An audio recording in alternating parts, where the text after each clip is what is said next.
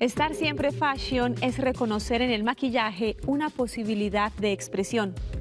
Ante las múltiples preguntas que hemos recibido sobre ¿debo maquillarme o no? Si voy a usar tapabocas, ¿se justifica maquillar los ojos o los labios? Pues quisimos que Laura Rodas, maquilladora profesional, sea quien nos proponga las respuestas. Bienvenida. Hola, ¿cómo están? Yo soy Laura Rodas, maquilladora profesional y hoy quiero compartir con ustedes algunos tips para maquillar el área de los ojos ya que van a ser protagonistas durante esta temporada que tenemos que usar de forma obligatoria el tapabocas. Entonces, utilice solamente dos productos, contorno y tinta. Con el contorno y una brocha grande marcamos toda la cuenca del ojo para definir sus contornos y luego con la tinta, que es algo así, marcamos el párpado móvil dándole un toque de color.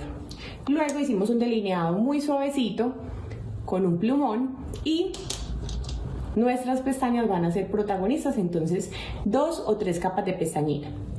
De preferencia vamos a utilizar eh, productos que sean a prueba de agua para que aguanten como toda la humedad que se genera en esta zona y si utilizamos gafas con más razón. Para los labios les quiero recomendar que pues por esta temporada se están utilizando muchísimo los labios jugosos y glossy. Entonces podemos utilizar también la misma tinta para optimizar el producto y darle muchos usos. Esta tinta la utilice en ojos, pómulos y labios. Y encima le damos un toque de brillo con cualquier gloss que tengamos en casa. Así podemos, eh, con muy pocos productos, hacer un look completo de maquillaje para el área de los ojos. Mi última recomendación es que los labios debemos mantenerlos extra hidratados por esta época porque por el uso del tapabocas tendemos a respirar más por la boca y se genera mucha mucho aumento de la temperatura en esta zona. Entonces los labios se van a resecar más. Todo el día los debemos mantener hidratados y especialmente hidratarlos antes de dormir. Hasta la próxima, nos vemos.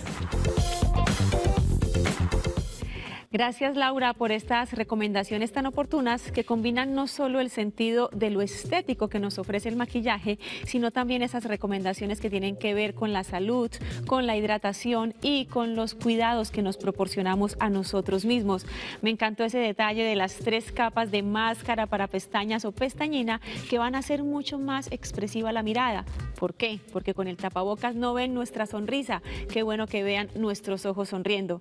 Y aquí algunas ideas de maquillaje maquillajes, de ese énfasis que se puede marcar en los ojos. Ya cada uno decide cómo lo quiere hacer, si con un delineado más grueso, si con unos tonos brillantes aplicados con algunos pigmentos, si un delineado inferior más llamativo. Cada uno va a escoger la tonalidad que le convenga o si quieren un detalle mucho más claro, un maquillaje casi nude que ha estado en tendencia. Laura nos recomienda, por ejemplo, los labios jugosos, que se nota que están humectados, que están siendo cuidados y eso lo podemos hacer varias veces durante el día. En este tipo de maquillajes se nota también mucho la naturalidad, porque eso es lo que buscan maquilladoras como nuestra querida Laura Rodas, destacar nuestras facciones, pero manteniendo esa naturalidad. Y aquí quisiera recomendarles a un referente que me gusta muchísimo cómo trabaja el maquillaje. Ella se llama Diana Enao. En redes sociales la encontramos como Diana Enao Makeup y ella se ha especializado en el trabajo de los ojos, en destacar muchísimo los ojos. Laura Rodas Makeup y Diana Enao Makeup para que aprendamos a cuidarnos, pero además a expresarnos con los ojos. Estar siempre fashion, saber que el maquillaje también tiene muchas historias para contar. Hasta pronto.